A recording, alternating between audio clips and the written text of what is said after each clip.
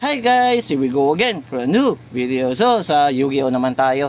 Ang dami-dami na natin mga sponsor na kailangan dapat shoutout Woo! Okay, so guys, kung gusto shoutout nga pala sa nagbigay sa akin na ito. So, may bago silang mga cards, ganyan, may meron na silang mga kumikinang or shiny na mga cards ngayon doon. Pwede kayo magpagawa sa kanya, napakamura lang ng isang piraso pagawa. So, ito, mayroon tong back print Meron, meron din dito uh, walang backprint na pinapagawa. So, kunyari bago lang kayo, uh, pakita ko na rin. Kapag nagpagawa kayo ng cards sa kanya, uh, may kasama ng sleeves, mga plastic ng Yu para sa Yu-Gi-Oh mo. Yan. At meron din sila yung walang backprint. Ito tayo. So, i-review nga pala natin ang Malefic. So, ito ang walang print sa likod. Ganyan ang itsura niya. Medyo manipis. Mas makapal to kapag mayroong backprint. Kung ako sa inyo, kunin niyo yung may backprint guys. Hindi kayo magsisisi. So guys, ito na. Magsisimula na tayo sa Malefic World. So guys, kung hindi niyo alam kung saan galing ang Malefic World. So, deck to ni Paradox sa isang uh, movie ng Yu-Gi-Oh! Hindi nyo pa alam. so, pangalan nga pala, ano ba yun? Bonds Bonds before time. Nakalimutan ko na. So, ang tagal nun. May-ari ng deck na ito si Paradox. Oo, ganun. So, may marami dito mga wala pang monster. Tapos, updated din tong deck na to. Kasi, uh, wala dito yung mga ibang uh, katulad ng Malefic Red Eyes Dragon. So, kakalang ko, sino pa ba mga wala dito? Ewan ko lang. Pero updated to, mayroon dito yung mga bagong cards na Malefic cards. Okay? Okay. So, mag itong deck kong to, uh, pang, ano to, panglaban talaga sa tournament na to. Kaso, hindi to original, pero, ayun lang. So, ito ang mga, sa, mga extra deck natin. So, meron tayong dalawang Cyber End Dragon, isang ma Malefic Paradox Dragon, at tatlong Stardust Dragon. Okay? So, nakapag-halo-halo ko na to eh, kasi ginamit ko to, tinesting ko. Kung napansin nyo, medyo makapal, uh, hindi dapat to ganito kakapal. Uh, nilagyan ko kasi ito ng Yu-Gi-Oh! Uh, uh, nilagyan, oh, ginilagyan ko pa pala ng Yu-Gi-Oh! Pasensya na, medyo nabubulol ako. Nilagyan ko pa ng Yu-Gi-Oh! sa likod dahil uh, wala tong backprint. So, kung bumibili ako ng walang backprint. Okay, so meron tayong uh, Malefic Territory. Ano pa ba?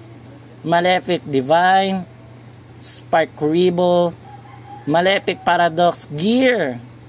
Meron din tayong Malefic Cyber and Dragon. Skill Drain, Malefic Parareal Gear. So, meron ganun ulit, ganun ulit. Ah, ito bago to, Malefic Selector. Malefic Stardust Dragon. Dalawa tuloy. Oops, may nahulog. Ano pa? Ah, ito, ito rin bago din to, pagkakalam ko. Ah, Malefic Paradigm Dragon. Malefic World, Pot of Aqua Aqua Seat. Hindi ko masabi, okay. Basta yun yung card na ito. Yun na yun. Kung nababasa nyo. Masyadong maliwanag eh, no? Okay, so meron tayong Malefic Stardust Dragon, Malefic ah, Cyber End Dragon, Trade in. Okay, kunyaring dead draw. Malefic World ulit. Allure of Darkness. Malefic Paradigm Dragon ulit. Allure. Ah, ito. Malefic Tune. Allure Darkness. So, ayun na yata lahat. Ah, ito pa. Meron tayong Malefic Blue Eyes White Dragon. So, ano pa ba meron dito? Yun lang. So, bukod doon, ito pa yung pinaka-paborito ko. Tingnan nyo naman kung gaano kakintabo. Gusto nyo magpagawa lang ng mga deck, pwede nyo kausapin si uh, ang ating sponsor. Shout out! Tara! So ito, compete, hindi ko masabi talaga na maayos kapag sa English. Panlaban talaga to sa mga tournament. At medyo, ginagamit ko din tong deck na to sa pangalan na ito na app na yon uh, Yu-Gi-Oh! Master Duel. Shoutout sa mga gumagamit ng Malefic World deck doon. Grabe, may mga nakalaban din ako. Ang lakas ng deck na to. So, yung pinaka ace card dito, pagkakaalam ko, yung yung mga 4,000 na attack. Lalo na ito, importante ito sa deck na to. Kunyari, wala kayong parang uh, yung requirements nila para palabasin sila. Pwede itong mga gear na to.